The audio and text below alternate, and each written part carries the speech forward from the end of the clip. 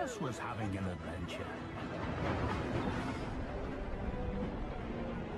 Wow! Look at that big building over there. I wonder what that factory makes. oh, did you see the color of those houses? Check out this tropical forest. It's all been colored in with crayons.